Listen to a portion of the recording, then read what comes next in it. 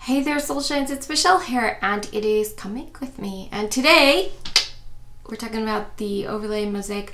I'm also going to talk about a challenge I accepted and I'm doing really bad at. So, um, overlay mosaic, um, Mary and I are doing the um, mosaic in a month from Juniper and Oakes and I have slowed down on it just because my arm got tired crocheting, but I'm still trying to do at least two rows a day. So as a reminder, uh, first of all, this is pretty much my wingspan, so it's approximately 60 inches wide. Um, might be a little bit less, don't know. Anyway, got the red section and the orange and the yellow and the green and the blue and let's see how far I have gone in the purple. That's how far I've made it guys. That's where I'm at and then back is the stripes. Uh, I think the blue section looks extra cool but um so yeah uh, that's how far I've gotten after the purple section, I'll be doing another blue section. I'm really excited about that. I'm really excited to see how this turns out. Um, if you don't know overlay mosaic crochet, you start at one end of your project, you crochet all the way across, you leave a bunch of ties. You start at one end, crochet across, tie it off. Go back to the beginning, crochet across, tie it off. You do back loop and front loop, or back loop single crochets, front loop double crochets, a couple rows below. It's all perfect. It's actually really easy, but also kind of fun. So even though I'm making a blanket and it's mostly single crochets and double crochets, I'm actually enjoying it, which usually I get really bored. Um, I do have to say, every once in a while you have to do a full line of single crochets or full line of double crochets, and those ones are the hardest rows for me to get through but it is a lot of fun. Um, you can leave the edges and just kind of have a fringy look on the edges, which I think is cool sometimes. But um, there's also an envelope border, which I'm going to try with this one. So um, that is my overlay mosaic project. And now um, let's talk about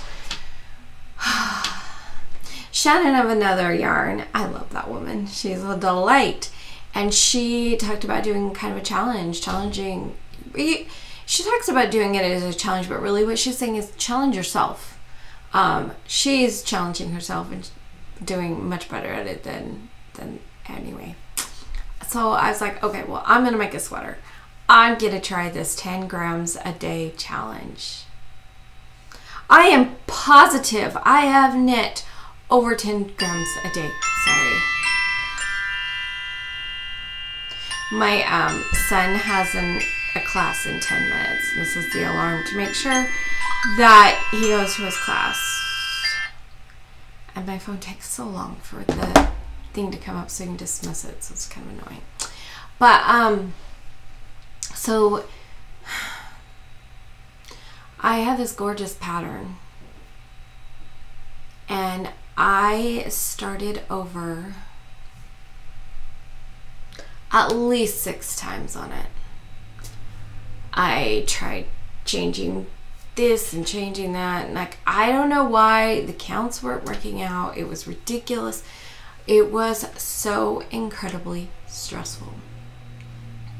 And then I was like, okay, well, then I'm going to find another picture. I mean, at least the yarn or another pattern, at least the yarn's pretty. So if it's not as gorgeous of a pattern, it will be okay, but I really want to make this other one. So I kind of resigned myself to making this other one.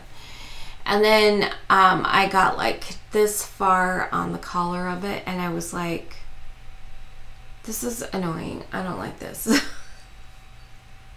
so I ended it again. Oh my gosh, seriously. Like I said, I guarantee I have knit 20 grams of yarn and I have like hardly anything to show for it.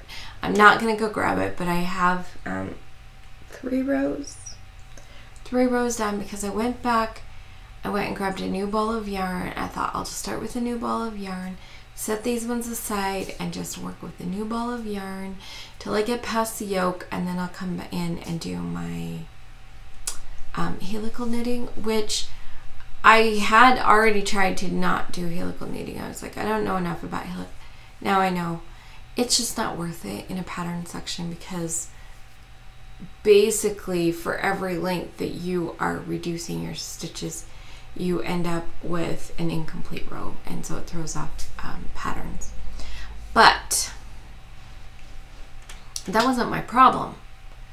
That was the real problem was the counts were off and so anyway so uh, right now as it stands on row three which i've never got I, like the farthest i've gotten is i think i was trying to do row five but so far, my counts are correct.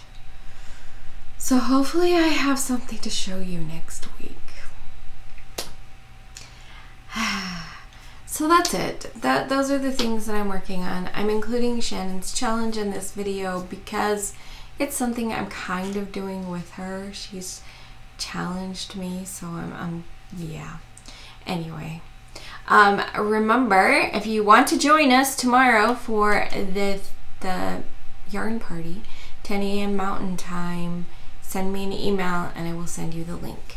Um, it would be really fun to have you um, join us and, and knit, crochet, do nothing, chat, embroider. I don't care what you do, but it would really be really fun if you came and visited with us and um, we're just meeting for an hour. I'll be on for an hour. So if you can't come at 9 or at 10, but you could come at 10.30, I'll be there.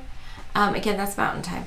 Ah, yes. And remember to hook that subscribe button, like the video, and leave some yarn in the comments. Tell me what you're working on. Tell me have you ever done mosaic crochet and are you doing the 10 gram a day yarn challenge with Shannon? Anyway, uh, I just like to remind you to let your light shine through your creations, whatever they be, and I'll see you guys next time. Bye!